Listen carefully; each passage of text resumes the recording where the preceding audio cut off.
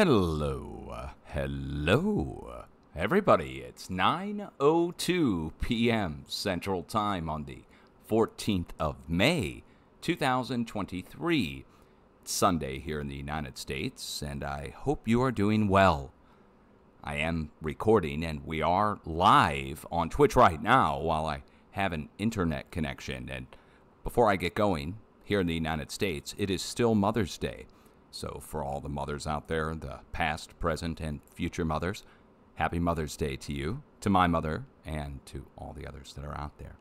And that being said, now let's get going into the earthquakes. If you don't know where you're at, well, right now we're looking at earthquakes on Earthquake 3D, the program. And I don't get anything for recommending it. I don't know the creator of it, but I do know that you need a program to look at the earthquakes on the planet three dimensionally so that you can plot them out and see them. We're using the USGS GEOFON Potsdam, the Italian agency, to give us a good broad swath across Europe and Asia and the United States and the Pacific.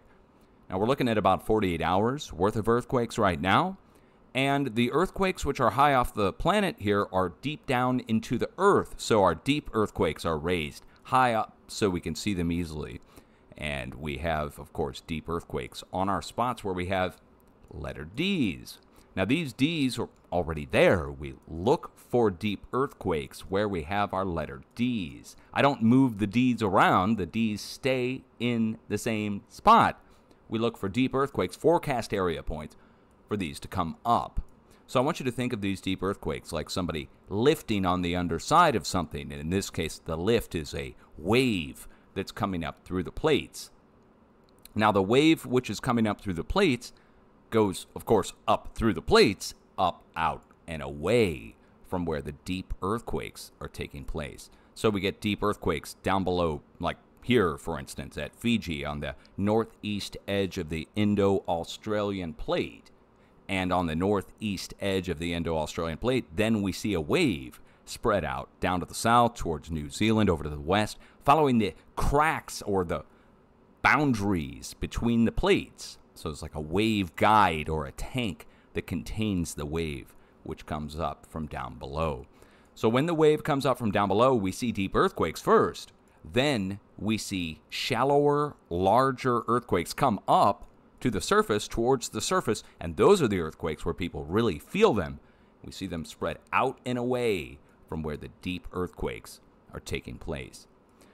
Now, about two and a half weeks ago, there was a deep earthquake down below, right about here, and it was a deep seven. It was a huge, deep earthquake, which prompted me to issue a warning for a seven point something earthquake. 7.5 is what I issued the warning for in the Kermadec Islands, north of New Zealand, south of Fiji, right in here. And a 7.5 struck. It's still on the feed here now. It struck six days ago. So there's the fulfilled forecast for the east side of the plate. Again, that 7.5 already hit. So let me recap. Deep earthquake from two and a half, three weeks ago almost, happened down below right here on the Indo Australian plate, prompting me to issue a warning over here on the east side of the Indo Australian plate for 7.5. 7.5 hit, that hit six days ago. The other spot we're watching is North Japan all the way up here from Hokkaido north to the Kuril Islands and up into Kamchatka, Russia. Watching for a 7.5, 7 to 7.5 up here. Well, what's happened? Look, Japan has started to move exponentially with a significant amount of earthquake activity, not just a little bit. So Japan is, let me just zoom in on it. Here is the country of Japan, you can barely see it with all the rings over it. So let's just turn down the rings for a second. Look at the spacing on the quakes going across from south of Japan next to Taiwan, all the way north to Kyushu, past all the way to Tokyo, and then further up north to Hokkaido and beyond, up into the Kuril Islands. Now you'll notice the earthquakes that are in between are all 5.2 and 5.3. And then we have 6 or 5.9 and another 6, another 5.9, and swarm of 5s. Now, a swarm is what I consider anything 10 or more earthquakes in a single spot. And this is, again, more than 10 fives in a single spot here off the coast of Japan. Now, let me show you where this is happening because this is significant. Let me take you back about a week and a half. Over here on the west side of Japan, where the red line goes over on the left side, here, somewhere right in here, 6.3 to 6.5 earthquake struck with swarm of fours and fives there, and it caused major movement on land, which is pretty rare for Japan. We normally see it out on the coast.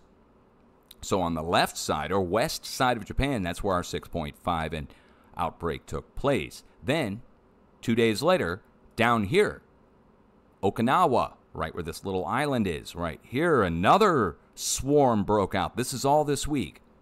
So, first, or this past week, last seven to 10 days.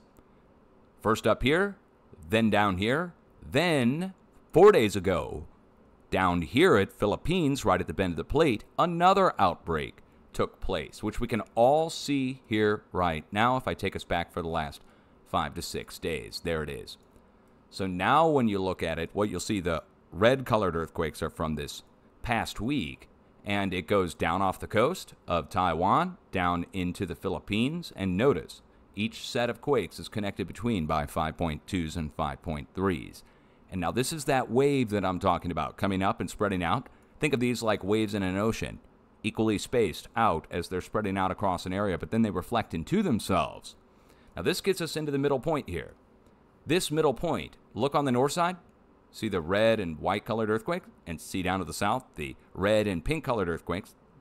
This all happened in the last several days. The big break in the middle of it all, wouldn't you say? In the middle of what? In the middle of this. From Taiwan and Philippines all the way up here to Kamchatka, this, the H shaped plate boundary, is the middle. It's indisputable. That is the rough middle point of all that. Now, that's also connected across by another plate boundary. And so, let's get back to the earthquakes. This all happened today. This is the final response of the rest of the plate shifting all up and down. Now, I'm looking for a 7 to 7.5 to break out here at the north side, all the way up here. It hasn't happened yet. I'm not canceling the warning for it in light of what happened today down here along the plate boundary. Let me take you back in time to 2011. 2011, March 9th, 2011. Two and a half, three days, let's just say, before the big earthquake in Japan. There was a 9.0 earthquake on March 11th, here, right off the coast of Japan. Now, before that, on March 9th, a 7.2 earthquake struck here at the Bay of Tokyo or the harbor, right there at the H shaped plate boundary. A 7.2 struck there on the 9th, a smaller earthquake. It sent a small wave into the harbor, about two feet high. Nobody even really paid attention to the wave. The skyscrapers swayed in downtown Tokyo, and everybody said they're earthquake prepared and that they're used to big earthquakes, and it didn't really mean much. This is March 9th. I made a video on March 9th, the night of, after the 7.2 struck, and this something like this was going on. Something like this. This big swarm of earthquakes here off the coast of Japan. So the seven had already happened, and an outbreak of fives then took place in a big round cluster around where the seven happened, and everybody called them aftershocks. I made a video and I showed that the earthquakes were then at that point going from the big circle of earthquakes around where the seven happened, and they were starting to spread in a line going from down here towards up here, towards North Japan. So it was 7.2, cluster of fives, then a stepping stone path of interconnected fours and fives, hundreds of them, or well, dozens of them, going up the coast in the course of a day. Thus, my video. And as I saw the spread taking place, I made the video saying, looks like something bigger is going to happen in Japan. This is March 9th of 2011. This is my first earthquake forecast. is very primitive, something bigger. Something bigger than what? Something bigger than the 7.2 that had happened and the swarm of fives. The swarm of fives was a sign of the plate shifting. Right? I mean, it's now looking back obvious. So first there was a break, 7.2. Then there was a spread, or a cluster of fives. Then there was a spread of fives. Then there was the big nine up the coast, up here off the coast of Honshu and Fukushima. So now what's going on? Well, the whole thing is broken with fives and sixes all the way up to North Japan and back down. In the middle is where the big break is taking place. There is no spread of fives yet, but I'm looking for that. I'm looking very close to see if there will be a spread of earthquakes that goes out from this to the north or to the south, or even to the east slightly, but I would think either north or south. If that takes place, then I will start to look for the potential of a very large earthquake to strike in Japan proper as opposed to what I'm looking for now, which is still looking for a 7 to 7.5 to strike on the north side of here. Why am I looking for a 7 on the north side? Well, first of all, the whole plate shifted at the Indo Australian plate. We already got our 7.5 on the east side of it, and I think all the way transferring to the north, we'll see on the northwest side of the Pacific plate another compensation quake.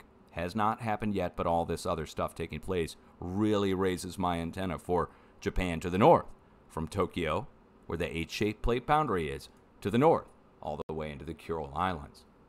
Okay, so I hope that sums it up. Let's just let me just put it simply. We're looking for a big earthquake north of Japan still, but the potential exists in Japan if we see a spread for a very large earthquake in Japan itself. And when I say very large, I mean like, well, where are we now? We're at a bunch of fives and a 5.9. We would take it up by two magnitudes or three magnitudes. Two magnitudes would take it up to 7.9. That would be huge in its own right if it struck on land.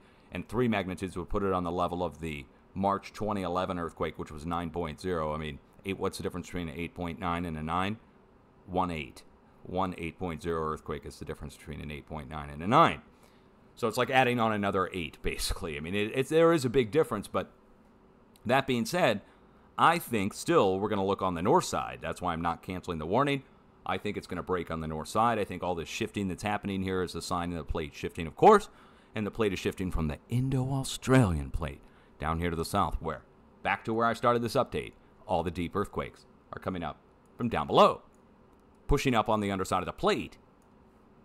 Now, we have another warning going, and this is separate from all the others, and this is something we definitely have to watch for, which is 8.0 level activity here next to the Solomon Islands and north of New Zealand. And the reason we're looking for that is our 7.5 was at 200 something kilometers deep. This 7, which struck on the 10th, four days ago, not six, four days ago. When this hit, we then watch for seven to 10 days for a potential of a shallower, larger earthquake than 7.5. How much larger? Up to one magnitude larger potential. It doesn't mean we're going to go all the way up to 8.5 but it means there's the potential for it to go up to 8.5, anywhere between 7.5 and 8.5, next to where this deep earthquake is. Now, next to is kind of tricky because we're on a pinnacle tip of what looks like a triangle or an arrow. So, which way is it going to go? Which way is the wave going to come up and go? There's no way for me to know ahead of time which way the wave is directed. Is it going to come straight up and then spread out? Is it coming up at an angle? Did the break happen down below at the bottom of the plate at an angle or something? Is it going to come up over to the west, following the arrows to the west, or is it going to come up going down to the south? It's literally at the pinnacle point.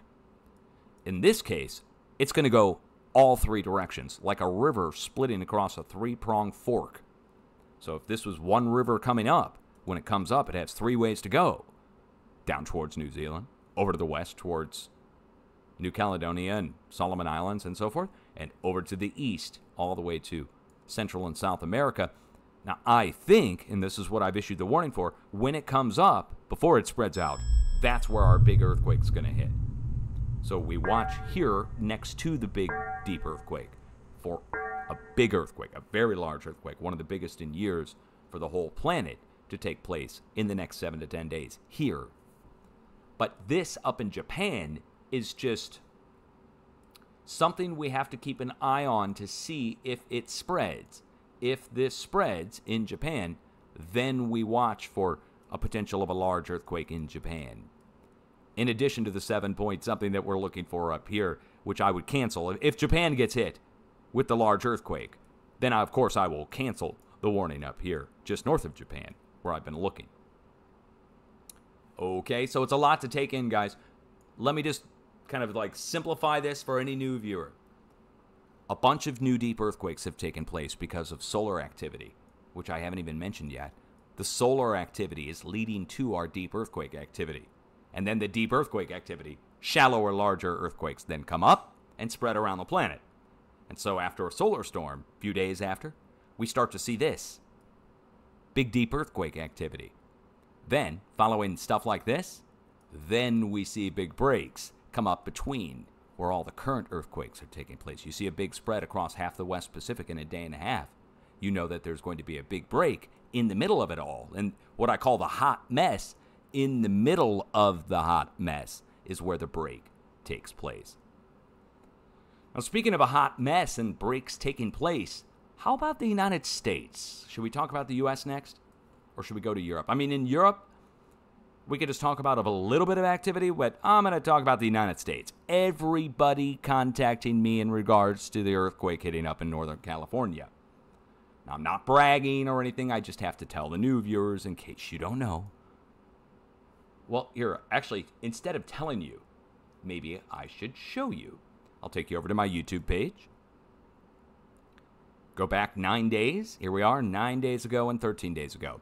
These three videos, including the fires, talking about nine days ago with the fires. In these videos, we issued a warning for Northern California for a 5.5 earthquake in Swarm, and I warned Eureka here, right along the coast.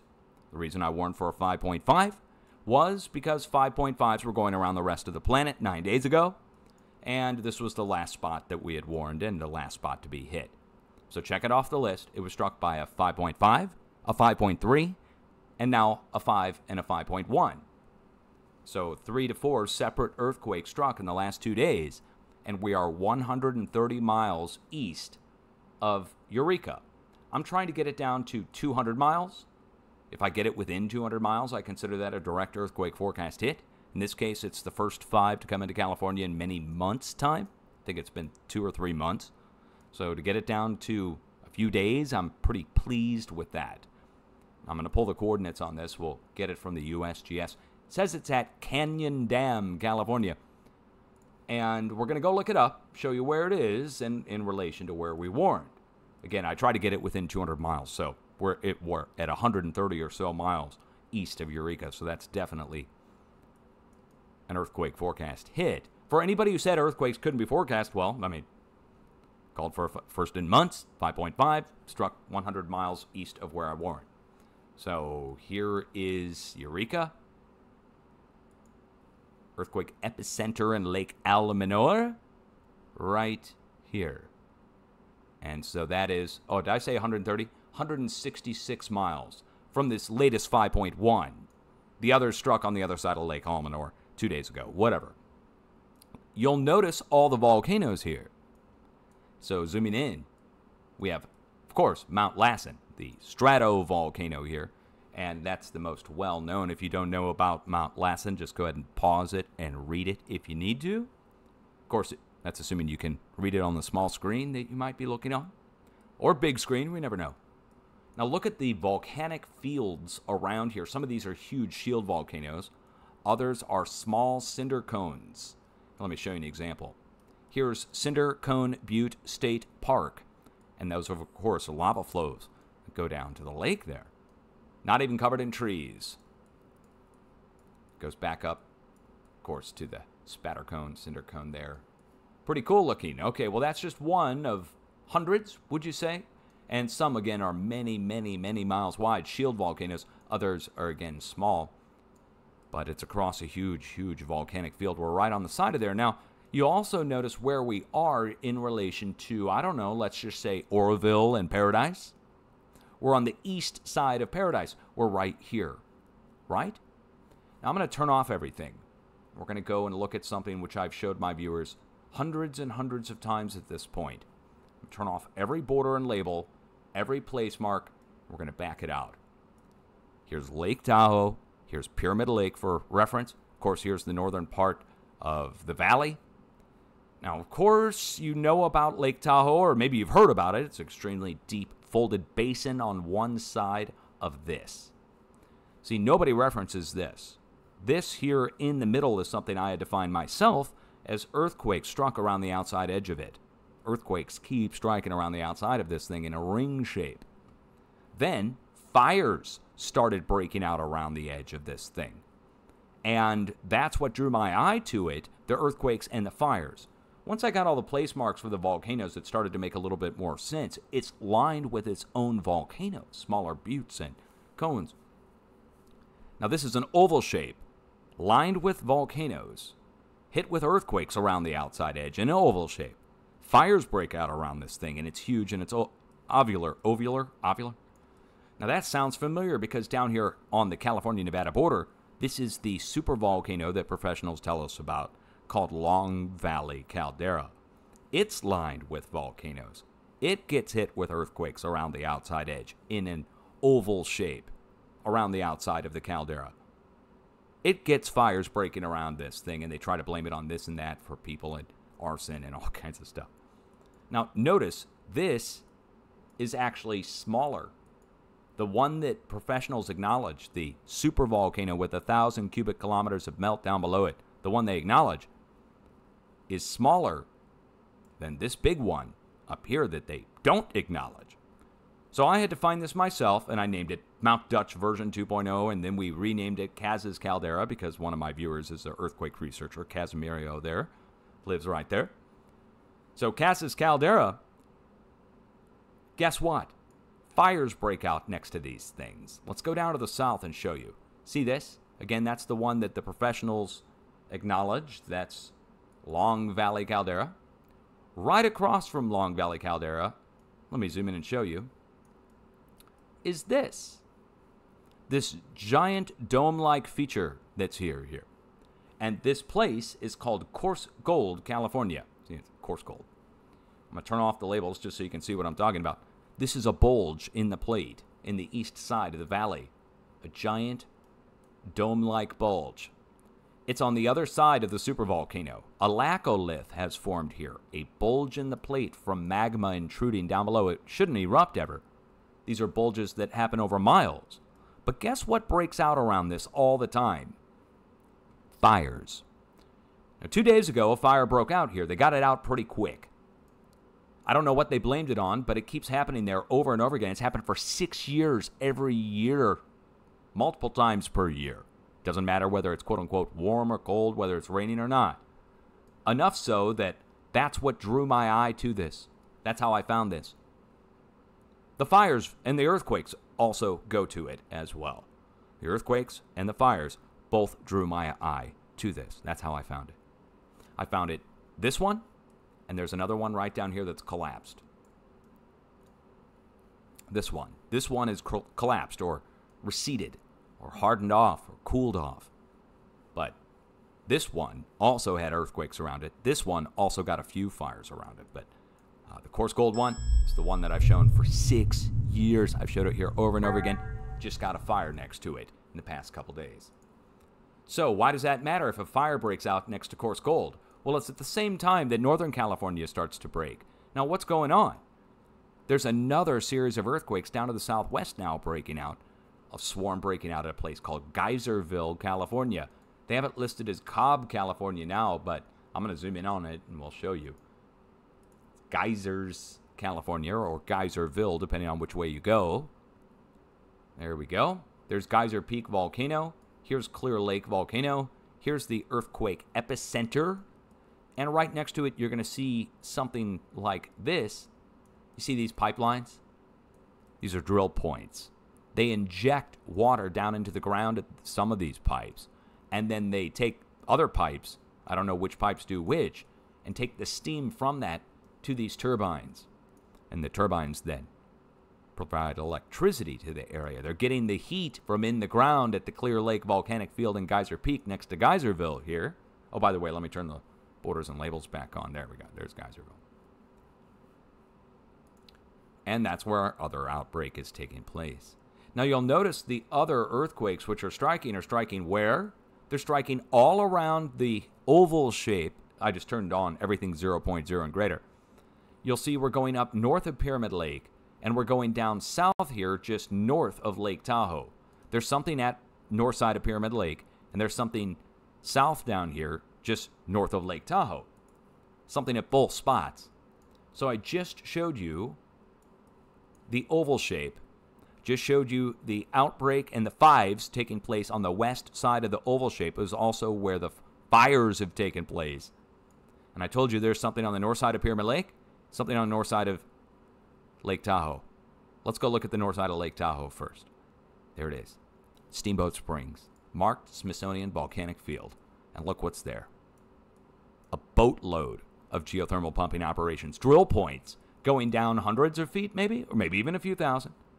And they're injecting water to get steam to turn the turbines. And they have them all over here. Look how many turbines they've got.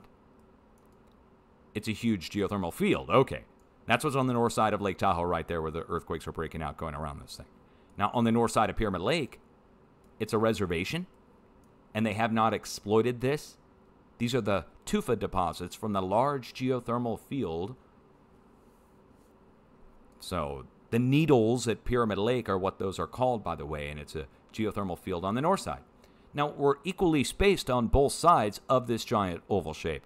Two folded basins on either side filled with water geothermal basins, folded basins, lined with volcanoes, hit with earthquakes and fires around the outside edge. It's a giant ancient supervolcano, guys. That's what it is. Let me get a sip of my coffee while you consider that.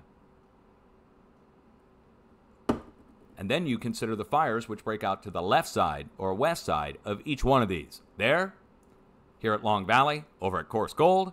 Down to the south, there's one more that I have not told you about that's hidden in the mountains and these are all volcanoes making up the outside edge of Golden Trout Creek, Red Hill Volcano, Templeton Mountain, and Monash Mountain, making a arc-like shape around one side of it. Oh, and a giant bulging collapsed laccolith here in the plate. And then on the other side we have one that we have marked, but it again here. Now why am I showing that to you? All the fires that broke out where? Here at Camp Nelson. Where's Camp Nelson? There it is. Here's Camp Nelson. All the fires that broke out there. So we get big fires breaking out on the left side or west side of this, of this, and of this. The supervolcanoes. It's indisputable. People told me it was just chance. That was six years ago. The chance thing. Now, there's a line of earthquakes that goes from the fives and the threes and the swarms down along the California Nevada border. And go look, look where it goes to. It goes right down next to the other supervolcano I just showed you, and I'm going to prove that to you. I don't expect you to believe me. See where it says Mina, Nevada? Mina, Nevada? Here, let me show you because showing is half the battle. There we are. Okay. Monte Cristo Hills Volcanic Center is where the 6.5 in swarm struck two years, three years ago. A crack formed in the ground, a surface fissure fracture. Actual crack in the ground formed. Went over to the west, all the way across the highway, and went over towards these old, well, don't know what to make of them. We won't even go into it right now. Went into just these old pit mines and quarries that exist out here. And then we didn't hear much about it after the crack formed. Well, after the crack formed, of course, the energy escaped out, and that was a few years ago. But we go right down next to this. This is the supervolcano. The other volcanic centers around it are expected. Around the super, I mean, again, like around Yellowstone, you expect next to Yellowstone in the Snake River Plain to have a line of a line of volcanoes that spreads out from it. Well, same thing with this. This is the confirmed supervolcano now. This is Long Valley Caldera, the one that the professionals acknowledge. So this line of earthquakes goes from the one supervolcano down and right next to it, about the same distance, and then down to this one. Now you'll notice the trajectory of the earthquakes. The wave is coming in and going down further into Nevada. What's down here? Nuclear. Nuclear. How do you say it? Nuclear. Nuclear N E W C L E A R. Say it like that. Nuclear. That's how you say it.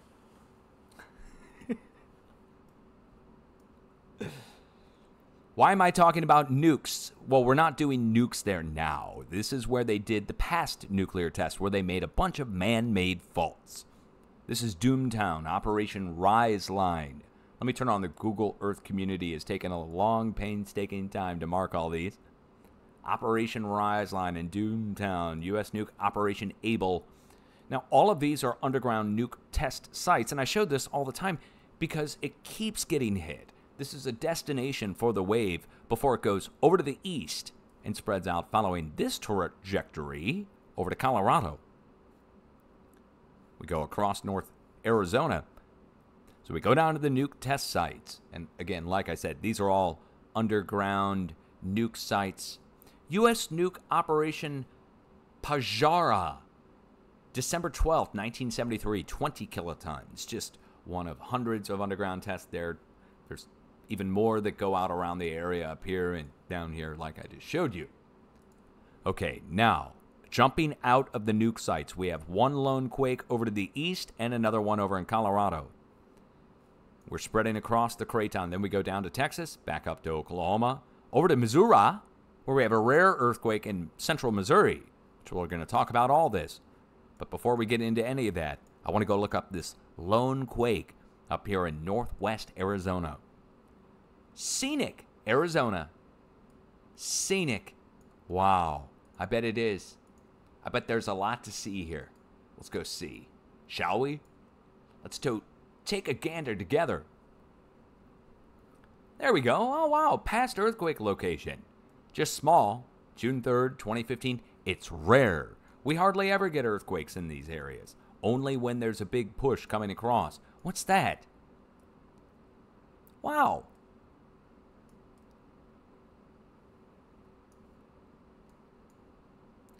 I wouldn't know what to make of that. I mean, it looks like a well that's going to feed a pond of some kind. Now, if there were any more in these areas, I would think maybe that we were talking about some kind of pumping operation that was nearby. Are there any more? New Spring, there is. Look, there's another one here nearby. Okay, so we have water features coming up out of the ground here. I'm not surprised. Look, we're right next to, uh, what, I mean, you know, edges of what you would call the Grand Canyon, right? So I'm not surprised to see there's water in the ground here.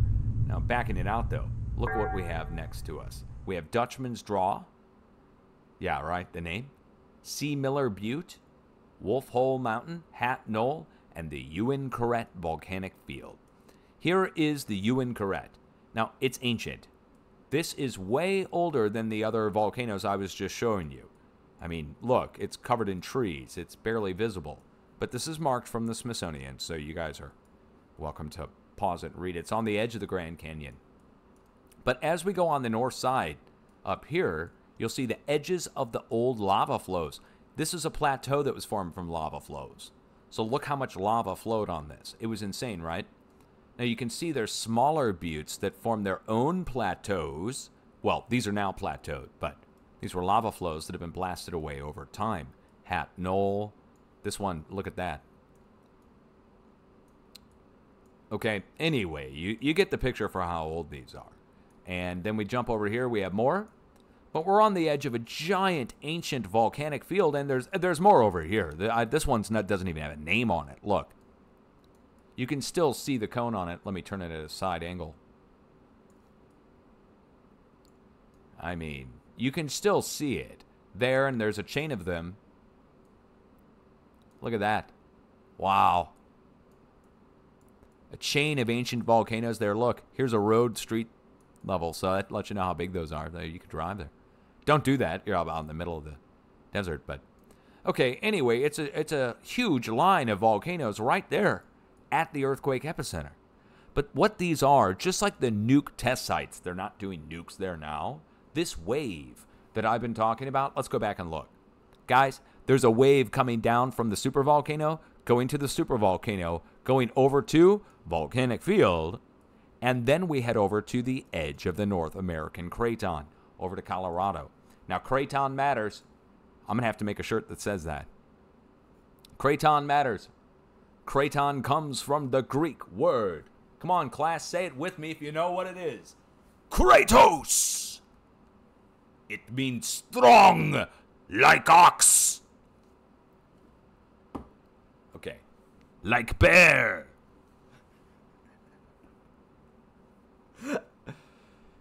The, do I have your attention now? Guys, the earthquakes are flowing from California over to the edge of the Great Craton. Remember that, because professionals said it was impossible. They said it was impossible and said I was faking the quakes to make it look like it. That was 10 years ago. And here we are, 10 years later, and it's happening on a daily basis. Let's go over to Weston, Colorado. Go over on the edge of the Craton. And go, not crouton. No, you don't put this on your salad. Spelled differently. What's over here in Colorado, Dutch? Oh, I don't know. What are those? Come on, give me your best Jake Paul impersonation. What are those? Points down at the ground. Oil wells, dude. Oil and gas. Fracking. Fracking. Now look how many there are. These are all different drill points here in southern Colorado. This is the New Mexico border. Look, we go right across the border. Make a run for the border. Right on the other side, more oil wells. And we go on and on and on and on, and we don't stop. Okay, anyway, uh, here we are at Trinidad, southern Colorado. Now let's get back to that Craton diagram and the earthquakes. So we come down the California Nevada border in a diagonal line of quakes volcano to volcano to volcano to volcano to nuke site to volcano to drill point. Then we go down here and we get the same size quake. Three, three. What's down in Texas? What's down in West Texas? Deep in the heart of Texas. Come on, guys. Sing along with me. Let's go see what's down in the heart of Texas. Well, this isn't the heart. There's a wing of Texas. Look at that. I feel sorry for anybody who tries to come in through down the south. They're gonna they're like, this is the United States. It looks like Mordor.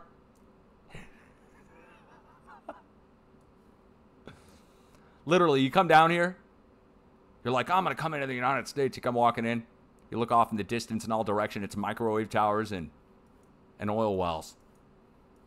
That's no exaggeration, really. That's what you're seeing here. So anyway,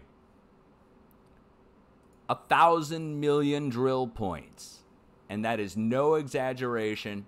There's probably a billion drill points overall. But they would never tell us.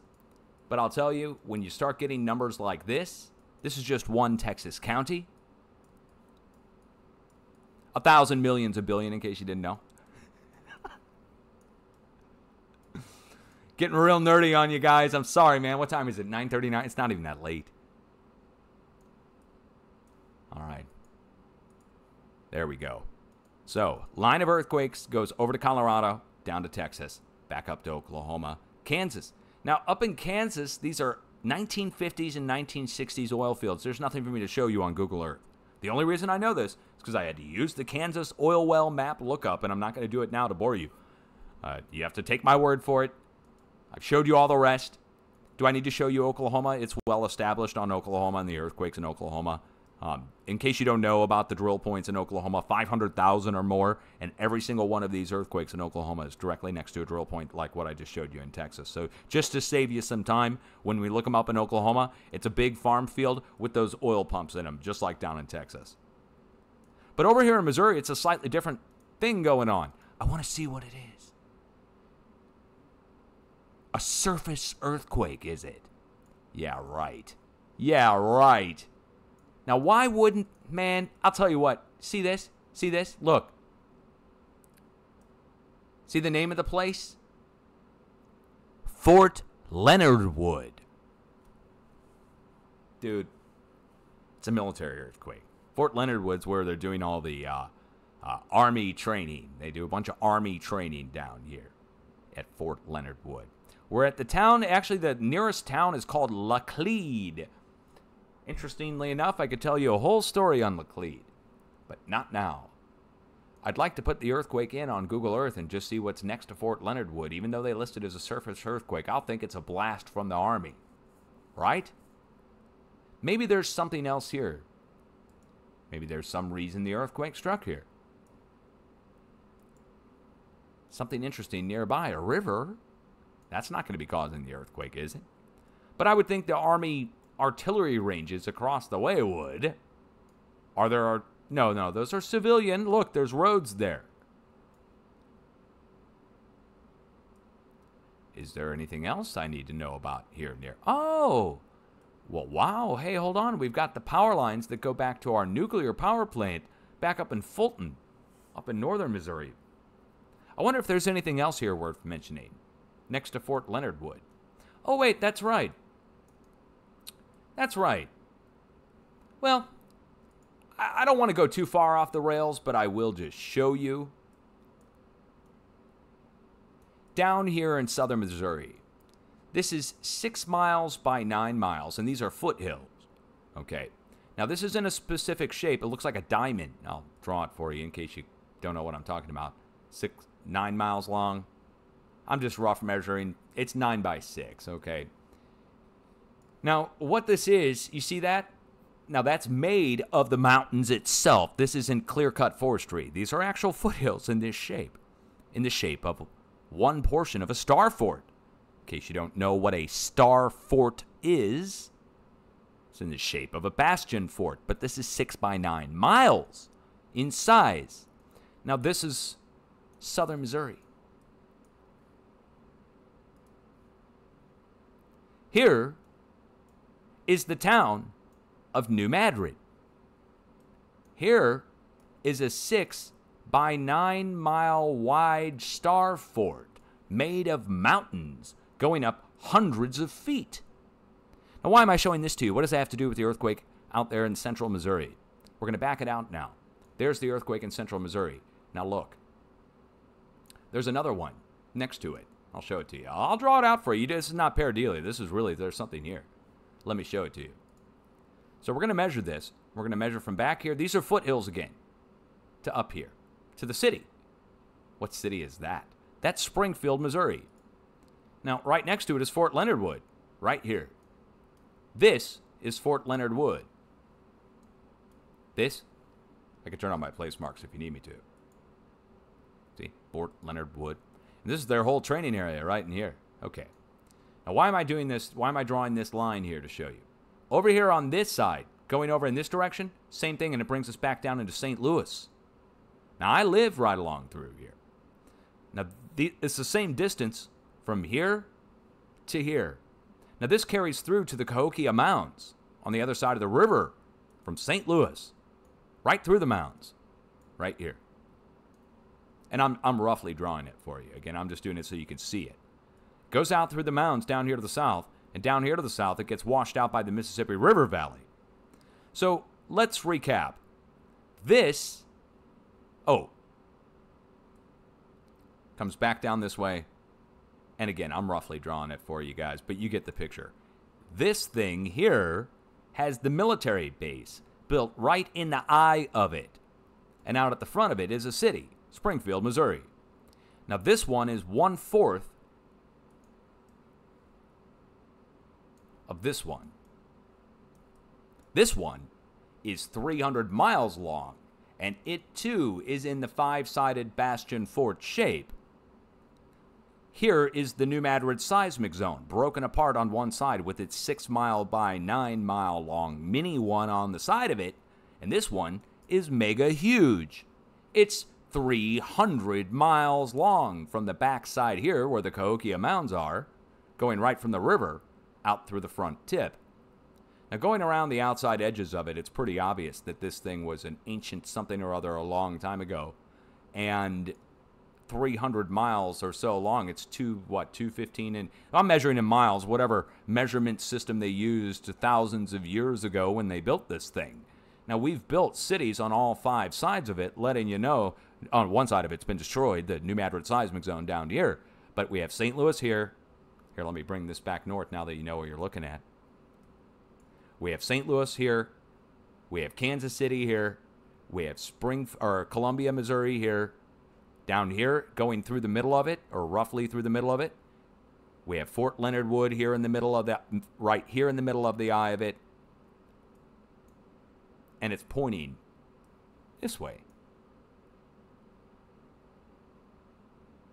You can draw a line from the back side of it this way, out through the middle of it like a giant arrow, and it brings you down to there, wouldn't you say?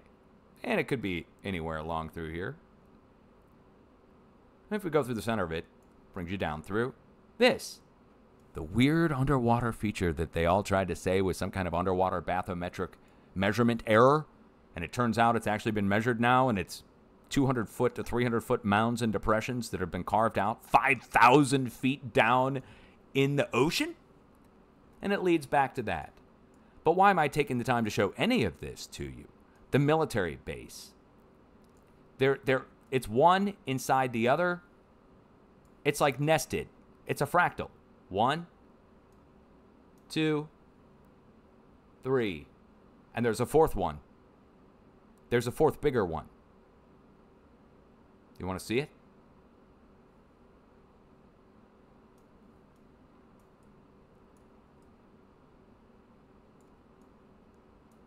There it is. It's kind of hard to see. On one side, you got Florida. On the other side, you've got Nunavut going up off the east coast of the United States. One side's still intact, submerged. The other side's blown out with a crater. That's off Newfoundland. It's a giant triangle. One side, you got Alaska. The other side, you got Mexico. Half of it's been blown out across the center. You zoom in on the center. You've got this thing built in in the center. And then you got this one built on the side of it. How do I find any of this? Earthquakes strike below the tips of all of them. It's the only way I found earthquakes, or the, the only way I found them is the earthquakes have struck down below these things. You might say I'm parodying it, but how do you explain the military bases and the earthquakes? How do you explain the military bases? When I say bases, we have other locations that also do the same. So I got a little off track, but not too far because I have to tell you about all that to show you the earthquake there that's striking down below Fort Leonard Wood or on the surface that's listed as an earthquake, not as a blast. Let's go over to California and wrap this sucker up. So I've already covered the line of quake. Are, are you sufficiently mind numbingly mind blown by any of that? Who could build a 300 mile long thing made out of mountains, guys? Pre flood. Pre flood. This is this is ancient stuff. This is stuff that, that 300 miles long would be like very low frequency of some kind. We'd be talking about wireless energy transfer, not a bastion fort. A bastion fort holds cannons and sh- for shooting arrows, unless the cannons are the size of Manhattan.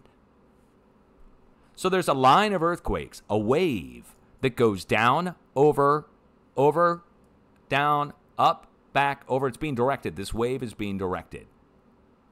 And it's following the edge of the North American craton. Now, what about along the coast? Well, I already showed you the volcano up here at Clear Lake. And now that a 5 has struck up here in Northern California, we have to warn Southern California for a new outbreak. The creeping section has started to creep.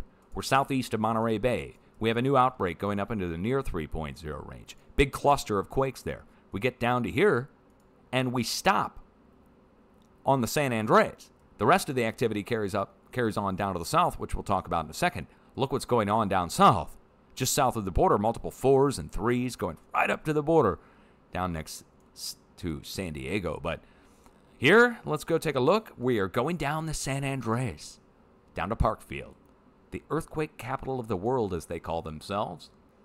Pull the coordinates, go put them in. We're stopping next to a bunch of drill points in California. Drill points along the San Andreas, of all things. Can you believe it? Well, Parkfield, of course, doesn't have the drill points. All the drill points are right here. They start here and go all the way down, following the San Andreas. Drilled out all the way up to it, right down to it, down to the south. All of this drilled. Do you want to see it? Here, I'll, we'll start up to the north. Starting up to the north, let me just zoom in. Okay, you're going to see just miles and miles of pipeline and drill points, and of course, jacks of the pumps, the shadows of the jacks you can see. And you see how big that is. And we have hundreds there, and then we go down, and by this time we're getting to thousands. And that's just right through here. Once we go down here, we get into these. And the whole mountain range is done this way. Go down through the mountain range here, across what's called Missouri Triangle of all things. This is the San Andreas right next to us. Just so here's San Andreas. Here's our drill points. Drill points go down through here.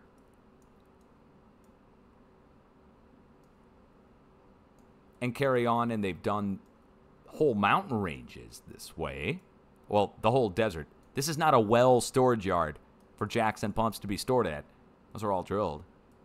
And then all of this. This is what a hillside used to look like. This is what it looks like after they come in, scrape out a pad, and do a drill point. And then you see they've done the whole mountain range this way. Those aren't sand dunes. Those were old gullies and hilltops that they scraped off for the whole mountain range. So now I just showed you drill points going all the way down, and we go right up to the San Andreas with our drill points. So somebody somewhere a long time ago knew that there's a wave that's coming down, and when you drill along that or perforate along that area, guess what? The wave goes down to the drill points or to the perforation point and then jumps off and is guided by the drill points. That's what's happening over in Texas. That's what's happening in Colorado on the edge of the craton. So our earthquakes are coming down the San Andreas. We get to here and we're stopping. But then we're picking back up down here to the south. What's going on? Well, look at the connection. In between, down at the southeast side of the valley, the whole Garlock Fault is lit up with activity. LA Basin north of it, LA Basin south of it, with quiet in LA itself. South of the border, like I said, threes, fours, and a line of quakes, another diagonal line. How many are we? How many diagonal lines is that? One along the California Nevada border going northwest to southeast, then going over to the east. Another along the California Nevada border, right, northwest to southeast. And lo and behold, another one, just like the other one. So the only oddball out is this line of quakes going the opposite direction completely. And let me take you back over to the USGS map. We'll zoom in on Southern California. I will turn on the faults. And there it is. The Garlock Fault. You see it? It goes the opposite way than all the others. Now, all the others are flowing like a river. The faults themselves, they're all pointing in a certain direction. You can see which way this all funnels in on the supervolcano and then it spreads to the south, right? Again, you see which way they're all pointing, or most of them.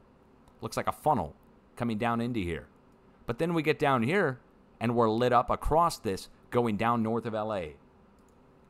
So what's going on? This wave is coming down to here and it's jumping over to here.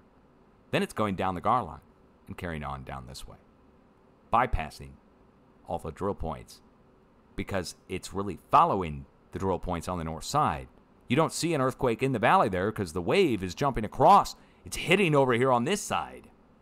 Coming down, hitting over. Then it goes down into LA. So what's going on out here in North LA? Well, what's north of LA? Anybody know? Let's go out and pull an earthquake from in the middle of the little line of quakes there. Peru, Piru, Peru, Peru, California. Piru.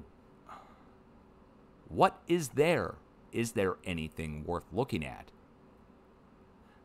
I think I've got everything turned on that we would need to see. Ah, look, hold on. Is this an explosion of some kind? It's 0.6 kilometer depth. Hold on. But they don't have it listed as a quarry blast. That's pretty darn interesting. Oh, wait, hold on. Look what we have here. Next to the quarry. Black gold. Black gold, guys. More oil. That's oil, that's not fracking. All right, oil pumping operation. We got an earthquake at an oil pumping operation directly at one. All right, glad I checked. Wow. Aren't you glad I checked? Wonder what's over to the east. Santa Clarita, California. Let's go see. What's in Santa Clarita? Over to the east we go. Looks like we're going into a residential subdivision area. Oh, wow, look at the power lines there. Huge sets of transmission lines. One, two, three sets of transmission lines right there. Well, we know the transmission line thing and the earthquake connection. We know about all that. I wonder if there's anything else here nearby. Let's zoom in and see.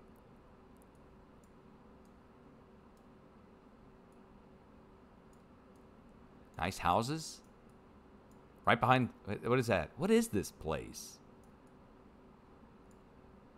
Looks like some kind of quarry or mine. That's what it looks like. Usually, when you see something like that, you've got some kind of quarry. What's this? Massive electrical substation. Oh, God. Okay, so we got the massive electrical. We've got the big power lines. I'm not seeing any drill points here nearby. I have to do a visual inspection to see that. Look, look. Oh my God! Look, look. They're crossing. There's multiple. The scalar on this would be insane. Crossing a very low frequency. Multiple waves crossing. Can we see it? They don't have a street level for it. That's some of the. That's one of the biggest junctions I think I've ever seen of power lines.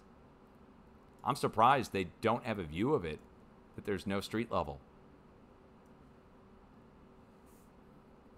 On both sides, we're going into valleys.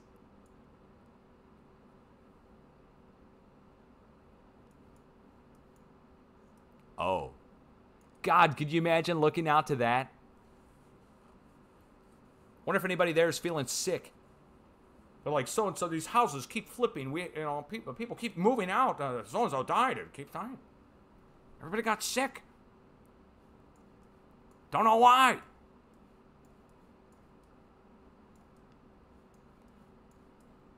Look at that. Dear God. Okay, so in case you don't know, what about the earthquake and power line connection and scalar? Well, first of all, I could lecture for hours on scalar and power lines and earthquakes and the connection between very low frequency, very low frequency in the power lines, and very low frequency traveling through the plate. The wave that I've been talking about through this whole update is very low frequency. The spacing on the earthquakes, hundreds of miles apart. Very low frequency, ultra low frequency type spacing. Now we're talking about very low frequency, ultra low frequency, so forth, through the power lines up above the ground. Now, I think electromagnetically, there's a connection between the two and so forth. When we get an earthquake next to it, there's some kind of interaction. The interaction point where two waves cross is called a scalar. The point where the waves cross is the scalar area. It's a geometry term. Now, people talk about scalar waves waves can come out of an area where other waves cross. Lieutenant Colonel Thomas Bearden talking about scalar and crossing of uh, microwaves, for instance, to create an area of excited electrons at a distance, action at a distance, he called it, and using microwaves to create a scalar wave, which is a separate vibrating plasma, basically, out at a distance where the waves cross. Think of like scuffing your feet across the carpet, and then that builds up at a distance, and it builds up into a, a glowing plasma that then discharges in the atmosphere. Okay, so using two crossed waves, interferometry, you can get a third effect where they cross. Is the principle of scalar waves, and Lieutenant Colonel Thomas Bearden. So now we're talking about instead of microwaves, we're talking about ultra low frequency. Instead of very tightly spaced waves, real tight together, long low bandwidth. Think about low bandwidth that you use for communicating for the internet. Okay so that long low wave frequency going through those power lines and mother earth has it going down through the ground. And they're going in the same direction.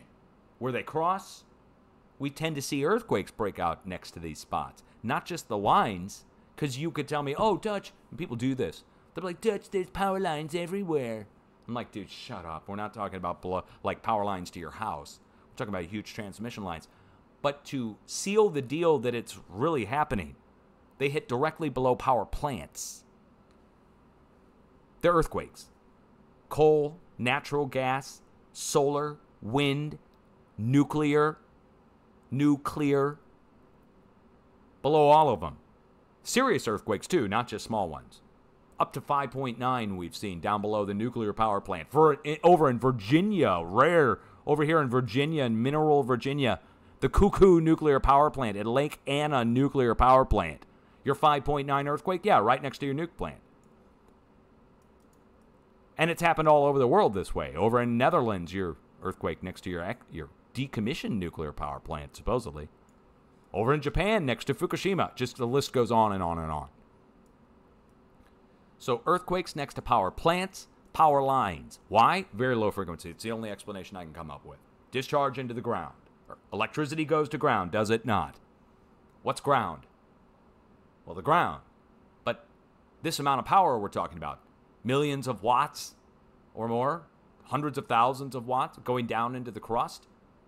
Guess what else is millions or billions of watts going through the crust? That wave that I'm talking about.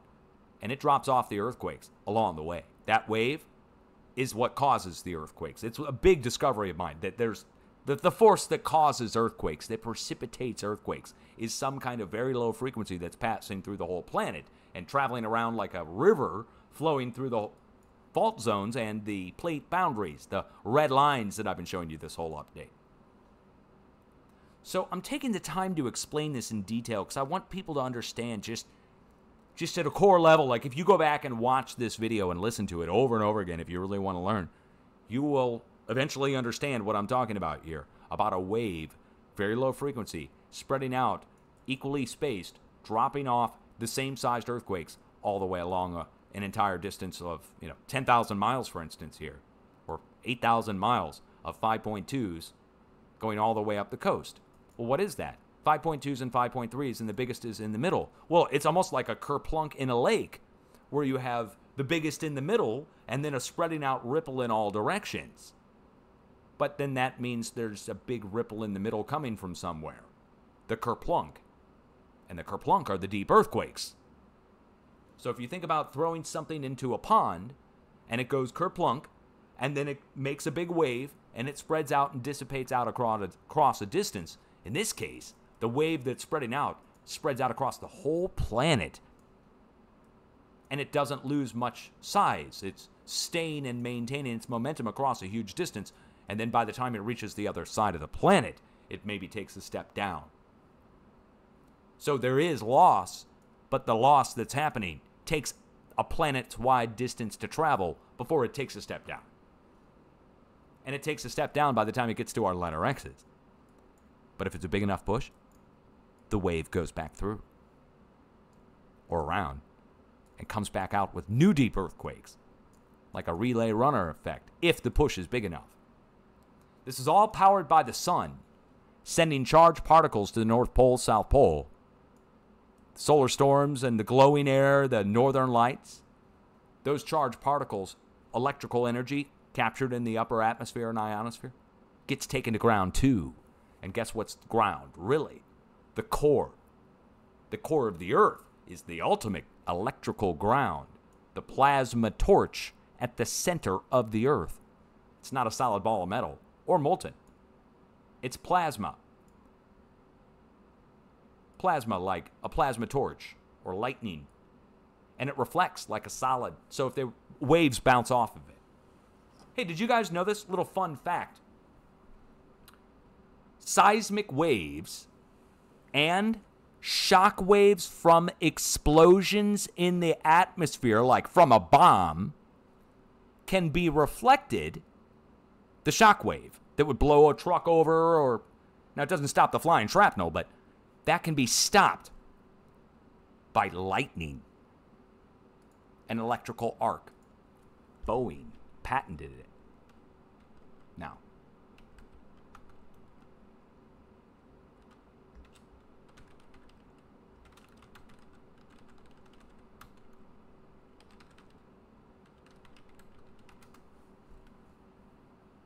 There we go. 2050. Well, here we go. Here's the diagram from the patent that they. Oh, well, the Boeing force field. Yeah, this this is. Eh, here we go. What is this? Wired. Wired's got it. Do they have the actual? They don't have the actual diagram on here. Hold on. Let me get a picture of it. This is from the patent. This is the Boeing patent. Simply put, here's the Humvee. Here are the two transmitters. The transmitters are projecting out an actual lightning bolt. The lightning bolt makes a connection from either the top to the bottom or the bottom to the top, and it makes an arc of lightning. The arc of lightning reflects the shock wave, doesn't stop the flying shrapnel, but the actual shock wave that would blow the truck over and cause all that impact damage on the truck, gets reflected away by the arc, the electrical arc. So lightning bolts reflect shock waves. Very low frequency. What's lightning? Lightning's electricity. What's electricity? Very low frequency. It also will work on buildings, and I think it'll work to reflect actual seismic waves in the ground to stop it from hitting buildings. They haven't thought of that yet. That's my own invention. By the way, I'm documenting that here now in this video, so if anybody tries to take it, I'll sue your ass. But it is a good idea, right? Why not do that in the ground to reflect seismic waves? Since seismic waves and shock waves are the exact same thing, pretty much. So why not put an electrical arc generator where they would normally put those uh, hydraulic absorbers, the shock absorbers that they put on the underside of buildings that don't really do too much to help or you know, have a withstanding limit. Why not reflect the seismic wave by putting an electrical arc generator all the way around the base of the building? And when the earthquake comes in, it reflects off the shock wave. Shock wave reflects off, goes somewhere else. It doesn't absorb it and make it go away. It reflects it and sends it somewhere else. So I guess your neighbor would be pissed. Anyway, what does that prove?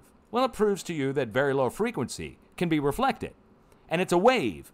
And it's a wave that can be reflected, and a shock wave can be reflected using very low frequency. And if that's the case, that makes sense with the power stations and the earthquakes down below them, doesn't it? I had to tie this all together myself with 12 years of plasma physics research being a high school graduate. Oh, yeah, I'm not a college grad. No, no, no, no. Oh, I flunked out. First, first semester, flunked out of horticulture.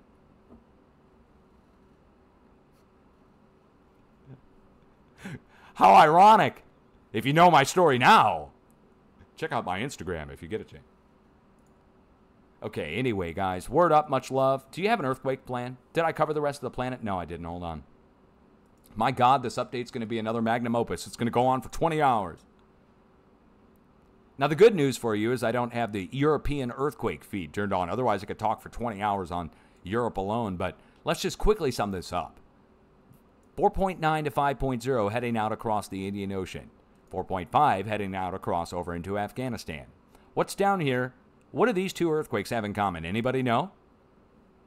Class? What do these two earthquakes have in common? Well, aside from their size, their magnitudes. Let me show you. We're going over to the Indo Australian plate boundary. Up here and down here. Now, USGS still has this one marked. They don't have the one from last night marked up here at Afghanistan. But if they did, you would see they're parallel to one another on the western side of the Indo Australian plate.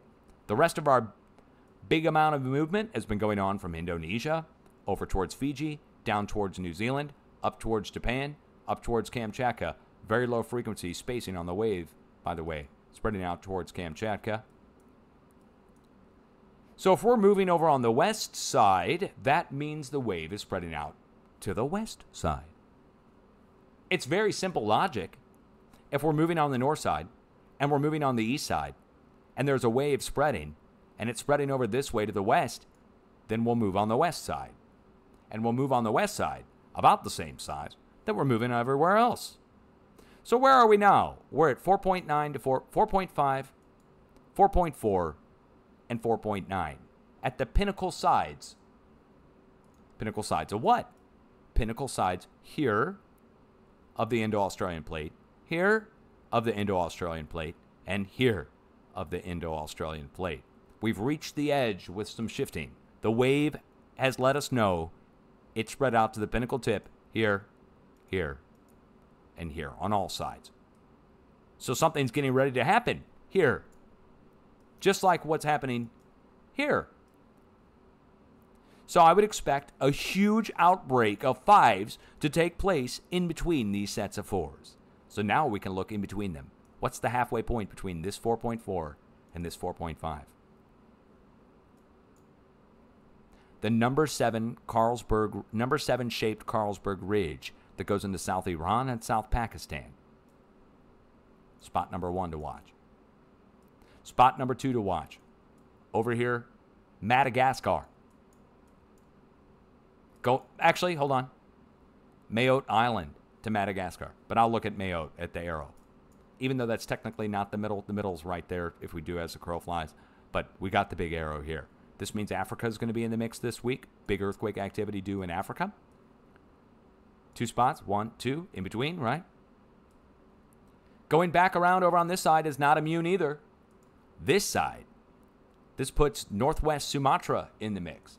And the biggest of the bunch should strike here because this is going to be coming out and going over to the west. I mean, it already is. The plate is starting to shift, but this is going to be filled in by the biggest of the bunch.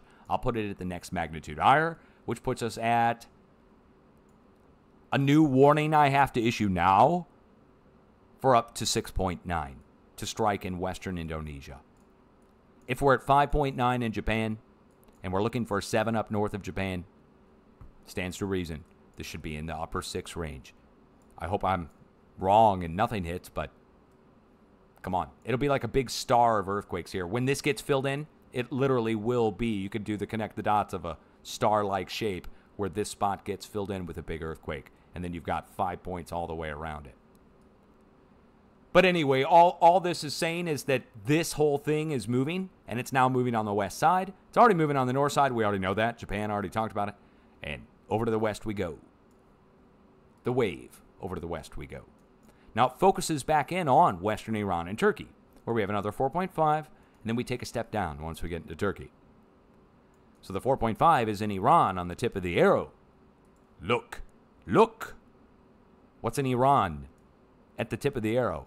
the red line again, guys. You're going to get so tired. If you're a long-time viewer, you'll get so tired of me talking about this red line crap. But the red line is the river, the way it flows. So we're going to take the next step up here, which means 5.5 is due, plus all the other fives that are going to be around it. We shouldn't be shocked if Turkey gets hit with a new 5.5 over here to the east, back on the east side of the Anatolian Fault as we go further over to the west, I'll have to issue a warning after Turkey. So I'm getting way ahead of myself, but I'm thinking it's we're going to be going back up into Bosnia. So Italy already moved. Italy, your earthquake warning. Wait, hold on. How many more days do we have to go? Tomorrow.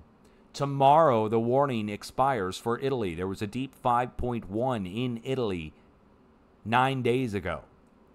And we issued a 10 day watch for Italy to be on watch for six. So until tomorrow expires, I'm not going to issue any new, new warnings. But I'm already going to tell you, coming forward this week, we're going to watch here where the arrow is.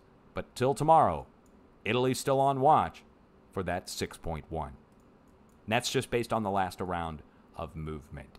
Iceland, let's go ahead and warn Iceland. Take a look at it. You're sitting there with two sets of quakes 4.9 on one side, 4.6 on the other.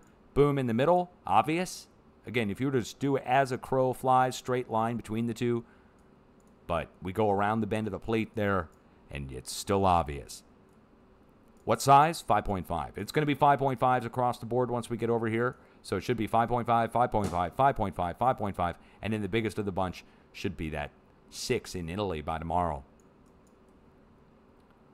Aussies, guys, check it out. Look, a new 4.5 to 4.6 came rolling in from the northwest. And every time we see, or almost every time, we see four point something activity here, we look down to Kangaroo Island in the southeast down here, Melbourne, Sydney, along the coast, but mainly Kangaroo Island, Adelaide, and watch for within the same magnitude. So, new 4.0 level activity is going to be coming down here, should shake things up, get your attention. New 4.5 coming in from the northwest means new 4 down to the southeast. Don't rule out activity all the way around the outside edge of Australia as well. That includes Perth, Sydney, up in the northeast. What is that? Queensland? I'm, I'm actually remembering. Queensland. Up in Queensland, and then over to the west, over by Exmouth, by the Very Low Frequency Array. Here, where the U.S. Navy and Australian Navy have that big hexagon shaped array. Texas, I'm going to tell you now, I'm sorry you did not get your expected five this past week. The warning expired yesterday for that. Today is day eight of a seven day watch. However, I already showed you the rest of the plate is moving, and I'm three days behind in California, which means three days behind everywhere else. So I'm not canceling the warning for Texas, but it didn't hit by day seven, which was yesterday. Same with uh, Oklahoma. So Texas and Oklahoma, we're not canceling the warnings. It looks like I'm three days off, which means it's coming. Five in Texas and a four in Oklahoma, due imminently. So let's recap going back to the start because this is the part that matters the big earthquakes. Look, we're flirting around with the potential of big earthquake activity in Japan. And I've already got a warning going north of Japan from this past week, just coincidentally, right? Coincidence, right? We're also looking for the potential of one of the largest earthquake earthquakes on the planet in like a decade to strike here possibly by the end of this 7 to 10 day time period and we're 4 days in on a 10 day watch. It could go up to 8.5. I hope I'm wrong. I hope I'm wrong on all of it. Hope, hope, hope. Hope for the best, plan for the worst. Planning for the worst means watching the earthquakes flow, watching them go along the edge of the craton or go around the plate. There is a flow to this. There's a, it's like a trajectory or a train. You can watch it go from point to point to point over the course of days and weeks, but usually days. The solar activity is what throws a wild card into the mix we have to watch for incoming solar storms, strong solar wind from open coronal holes, as well as filament ruptures, coronal mass ejections that are Earth directed, as well as solar flares that also happen, which are Earth directed. The charged particles with solar wind really does a number, and solar wind on its own, scuffing its feet across the carpet of the atmosphere, causes the aurora borealis, that electrical charge that goes down to ground. And then we get our deep quakes, then the whole process starts. You start seeing a bunch of deep quakes like this, Earth starts looking like a pin cushion on here. You know to expect shallower, larger earthquakes. And the more of these you see, the more you know it's going to be a doozy of a ride. And if you hear about a solar storm hitting and northern lights coming down to the United States, for instance, you know that's a lot of electricity that's going to go into the ground. And ground is the core. But when it goes into the core, guess what? It comes back out like this, hammering back up with very low frequency. The core is vibrating, in case you didn't know. The core is vibrating like a big bass drum speaker. And it's made of plasma, but it vibrates out very low frequency, electrically induced. Okay, final point on all of it. You need to develop an emergency kit. This is something you can do. You can watch the quakes, they are coming your way. You develop your emergency kit and you make sure it's up to date. You'll be way better off, first of all, knowing that something's coming your way. I mean, way better off than everybody else around you, right? They don't know. You have to tell them about my updates and all my shutdowns and how controversial I am and all the stupid shit that comes up about me when you read online. You have to skip all that. And I mean, come on. So nobody knows yet about the spread everybody still thinks earthquakes are random. They were told eh, earthquakes are random by the professionals. They're not. They're following a trajectory, a schedule, a time. And we can know the magnitudes based upon the size of the wave that's spreading out. And we can know the size of the wave based upon the size of the earthquakes that are spreading out. So we can know the coming magnitudes based upon the size of the current earthquakes that are being reported. It's not circular reasoning or logic here. That we can know from the data from the current earthquakes what is coming next based upon standing wave principles of propagating waves and reflecting back into themselves. So now that we understand what it is, there's some kind of standing wave of very low frequency spreading through the plates that removes the mystery of earthquakes and takes it into that forecastable realm. Now we're not to the horse race yet level yet. We're not to the prediction, you know, where you can give the date and time and you know well they can't even do that with the weather not even with visible weather can they tell us where a tornado is going to come down and hit what town is going to get hit they can't tell us a day beforehand what town's going to get hit the only way we can know that is with directed energy weapons and HAARP rings that goes into a whole nother discovery i made in case you don't know i am the discoverer of HAARP rings which are radar pulses that have a storm effect. Big controversy over that.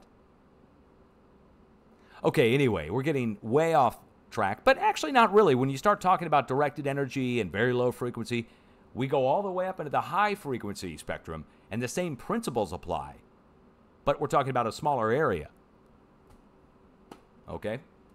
Anyway, 10:22 p.m. Central Time. You're going to develop that emergency kit. It's going to have a change of clothes, set of shoes, flashlight, batteries. First aid kit, sanitation, extra car keys, house keys, and ID. Medication if you need it. You'll be way better off than everybody else if you develop that kit and have it somewhere you can get it. And you may just grab it afterwards. Power might be out for a long time. You don't want to have to use your mobile device, your phone. Little puny little flashlight can't see two feet away from you. Why not have one in a bag ready to go? What else can you do? I mean, you could probably take the time to have food and water available. Food and water, long term supply. That's a good idea to have, anyways, just in case, you know, anything else happens. All right, enough lecturing. Saving this video, putting it out on YouTube. Let me remind everybody who's watching on Twitch you can come back and watch this later. So if you miss my updates live on Twitch, I know that's kind of a pain to know when I'm coming on. I never announce it for good reason, right? Since I'm back on finally, right? But we are going to go upload this to the YouTubes so you can watch it back later. And if you're watching on YouTube, thank you for watching. Thank you for sharing my information. It makes a huge difference if you share and if you like. I know a lot of people say, hey, hit the like button and all that. They do it before, before the video. If you liked this update, the full thorough explanations that I gave on each thing that I talked about, will you please hit the like button? It keeps my videos trending and gets them in the proper shape for people to see them. Otherwise, you never know what happens. I would also appreciate it if you shared the information. You can even just remember what I told you in this update for the big quakes Japan and over at Solomon Islands and Vanuatu for the big quakes. The huge quakes, I mean. Then we talk about 6.9 to 7 over in Indonesia. That's big. They do get 7 somewhat, you know, a few times a year. But still, it's huge quake for them. So if you know anybody in Indonesia, Sumatra, Indonesia, you tell them 6.9 to 7 coming your way. That little bit of a difference could make a big difference for a lot of people. Uh, down in Southern California, you could tell the people down in Southern California watch between the two sets of earthquakes down south next to the border and watch for a new upper foreign swarm to break out, enough to knock things off shelves down in Southern California, down by LA, in the LA basin. From the LA basin south to the border. You could tell somebody in West Texas, hey, look, we're looking for a five to come rolling into Texas because fives already came into California and up in Alaska. It's flowing like a river from Alaska to California. It's coming to Texas next. And then over to the East Coast and out beyond. See, we're dealing with a spreading wave like that's flowing like a river. Once you tell people that, they'd be like, well, if it's flooding like a river and it's flowing like a wave, shouldn't we be able to watch it go from point to point? And you say, yep.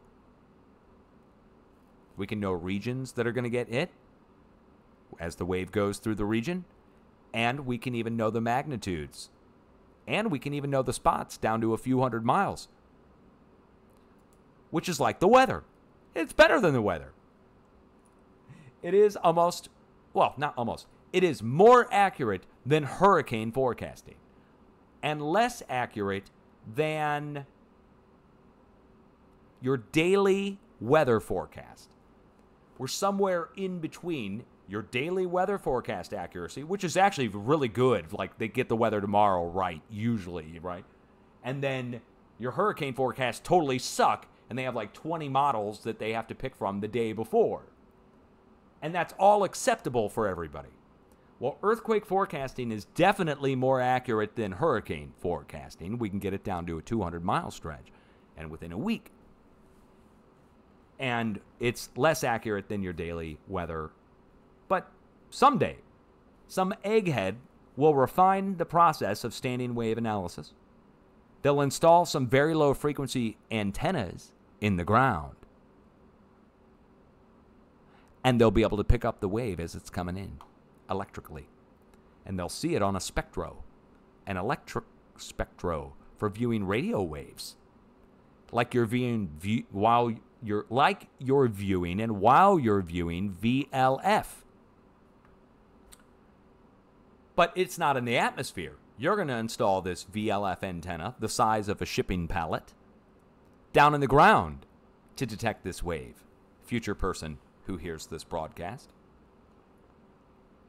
But I'm saving it so they can hear it in the future. Maybe it'll get archived and put in some deep underground vault to survive the reset. Hashtag Tartaria 2.0 reloaded. Stronger, faster, and better. Reset. Reloaded. All right. All right. You get a kick out of that? You guys like that? Yeah. Yeah. Okay. All right. Somebody asked me if I believe Earth is flat. I told them, oh, yeah, sure, sure. All the way around, bro. They looked at me puzzled. I said, Do you know what? Planet X is flat. Planet X is so flat, you can't see it. It's that thin. Coming right at us, that's why you can't see it. ah, nerd laugh. Okay, all right, I am out of here. Okay, time to go. Peace out.